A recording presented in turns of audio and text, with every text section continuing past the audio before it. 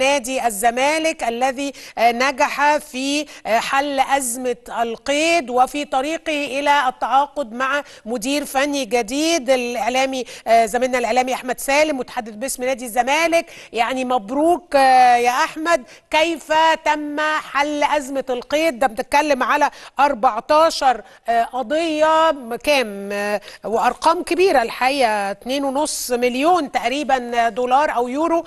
كلمني عن تفاصيل حل أزمة القيد. فل الأول أستاذ رميس زي حضرتك. أهلا بيك. آه هو إجمالي المبالغ 2 مليون و750 ألف دولار بغرامة فسخ تعاقد أسوريو. ده إجمالي ما انفقه المجلس على الغرامات أو على العقوبات بصفة عامة. جبتوا الفلوس إزاي بقى؟ ده مبروك يعني شيء عظيم بس جبتوها منين؟ 2.7 ده كتير برضو في ظل. الأزمة اللي إحنا فيها دي أصلا.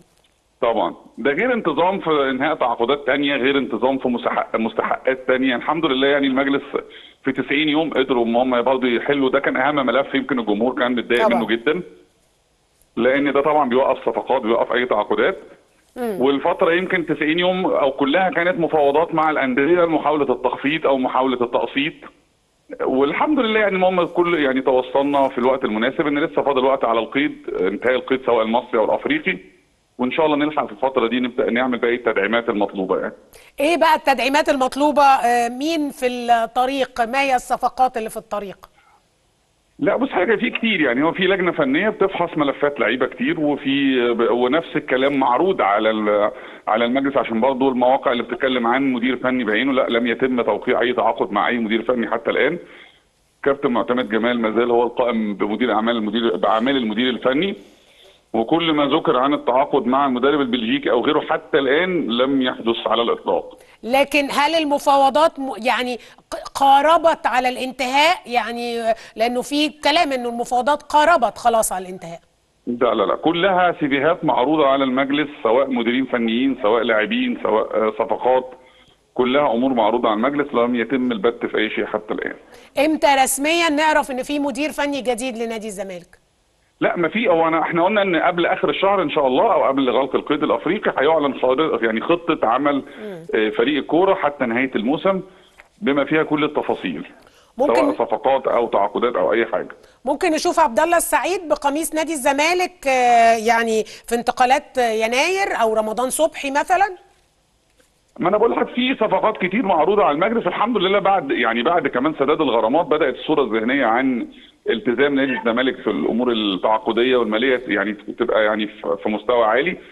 فبدأوا لعيبة وأندية كتير تسعى إن هي الحمد لله يعني تتعاقد مع الزمالك. ففي معروض كتير لكن قرار كام؟ حتى يعني الآن انت أنتوا بتشتغلوا على كام؟ بلاش مين؟ كام؟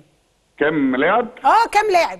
أعتقد مش هيزيدوا عن أربعة يعني ثلاثة أو أربعة. ثلاثة أو أربعة. من أصل صعب يعني هو طبعا هو كله نفسه يحصل يعني بناء فريق جديد لكن طبعا الوقت ضيق وإحنا لسه في انتقالات يناير ودايما انتقالات يناير بيبقى الحركة فيها محدودة شوية عن انتقالات آخر الموسم.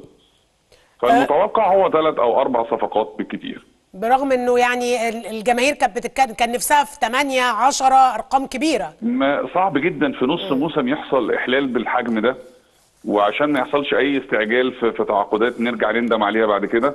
فالاختيار هيكون في حدود المراكز اللي الفريق فعلا محت... يعني في احتياج شديد ليها. في جديد في قضية كهرباء لا بس شغالين فيها. يعني في تواصل مع المحامي وإن شاء الله قريبا فيها تطورات بإذن الله.